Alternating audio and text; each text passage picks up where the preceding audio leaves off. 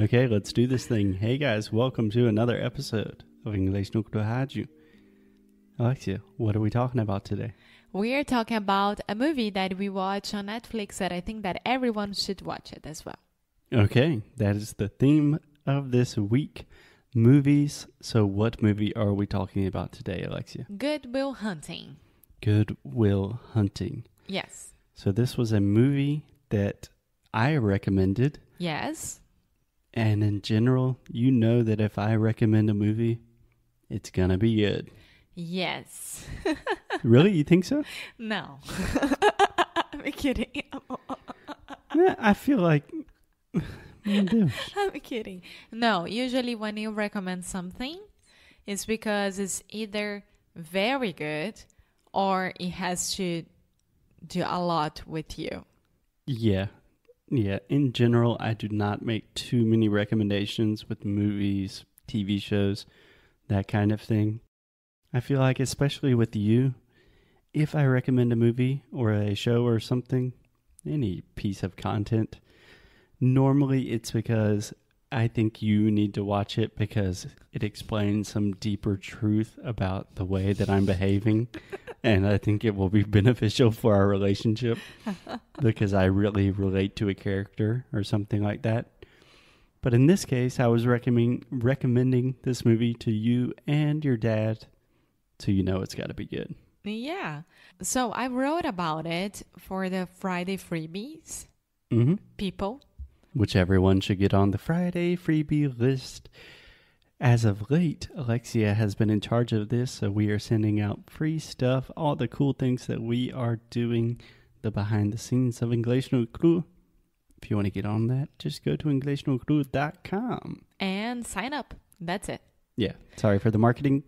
Okay, Alexia, explain to me. You know about this movie, you've already written about it.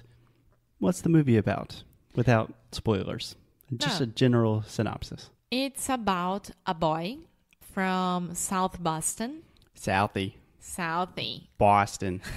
Boston, get a cup of coffee. How do they say eggs? Eggs.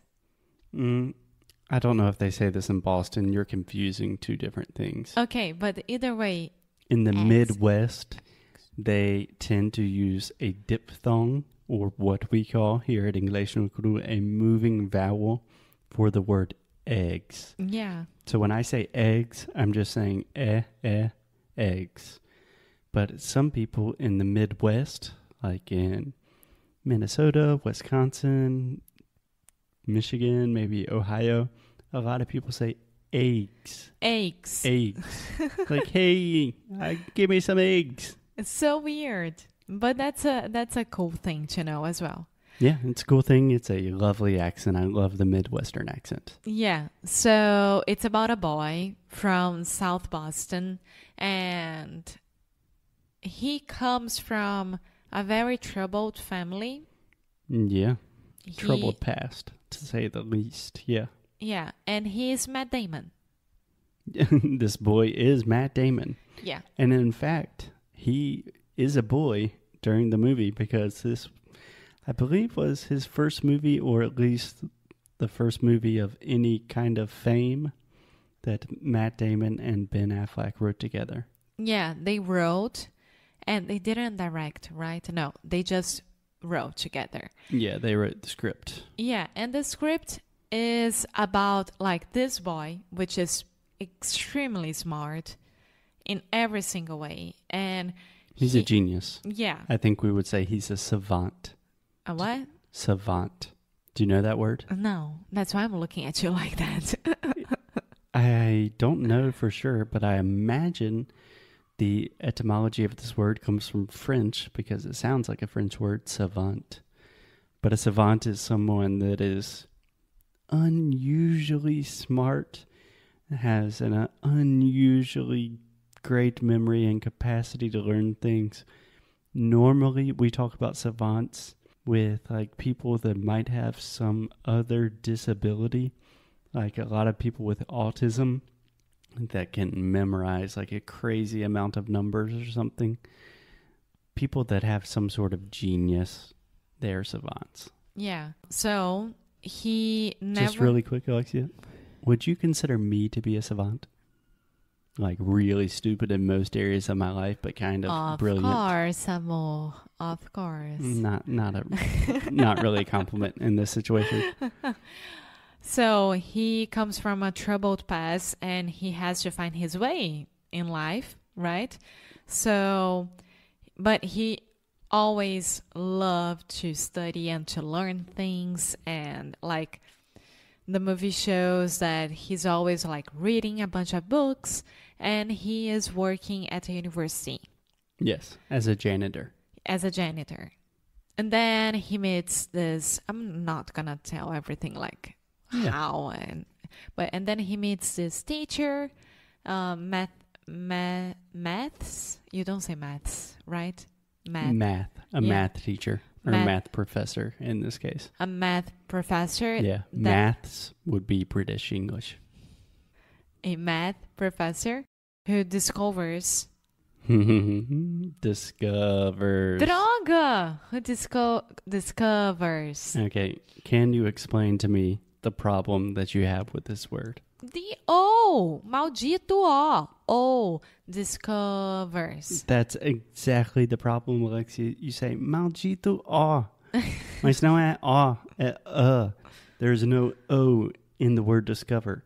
Yes, we write this word with an O, but it's not. It's the schwa sound. This is uh, uh. So don't try to make a circle with your lips. Don't think about the O sound. There is no O. There's no ah. There's just an uh. Discovers. discovers onions discover onions discover onions Yes. Okay. So Matt Damon is discovered by a professor, and then his life changes a lot. yeah I think that's a good summary without giving too much away. yeah but what i like about this movie the most is his title Okay. Do you want to explain? no i was hoping that you could Are you talking about the title of the name of the movie? yeah Yeah. So Good Will Hunting. So Matt Damon's character in this movie is Will Hunting. That is his name. First name is Will, last name is Hunting. Good Will is this is a play on words, right? Goodwill is boa vontade, mm-hmm. right? So there is a huge chain in the united states with goodwill Yes, there is a donation store, a charitable organization that gives clothes to people in need called Goodwill. So, Goodwill is you really have a desire to do good things, and then hunting, caçando, he's literally chasing goodwill, and that's Mhm. kind of what the movie is all about. yeah So, very clever title. So you can find it on Netflix. is amazing and it has one of my favorite actors from all the times, Robin Williams Yeah, I would say one of my favorite actors of all time. of all time. Yeah. Yeah, so Robin Williams, definitely my favorite thing about this movie. So Robin Williams plays a professor, but he's also Will Hunting's psychologist. And he gives one of the best speeches, a monologue to Will Hunting, just saying that you're a young boy, you don't know anything about love, you've never smelled the roof of the Sistine Chapel, and it's gorgeous. Yeah, so the movie is super well made. The scenes, you can see that most of them, not most of them, but a, a few of them were made in one take only. Yeah. Beautiful dialogues. a lot of dialogue and also most of this movie takes place in Boston and most of the characters are from South Boston so they have the traditional Boston accent which means they are changing a lot of vowel sounds making them more open. So you're going to hear a lot of hey I'm from Boston. Let's get a cup of coffee. Don't call the cops. So it's a great movie to really train your English, think more creatively about different dialogues, and really push yourself outside of your comfort zone with your English, don't you think? I do. Cool. Anything else you want to say about the movie? No, I'm fine. Go watch it. Netflix. Yeah. Netflix not paying us. They should, but I don't think English no Cru has reached that level yet, but maybe one day. one day. Anyway, this is my recommendation, so if you don't like it, that's on me. but I think you'll like it. Okay, so Okay. I'll talk to you soon. Have a good one. Bye.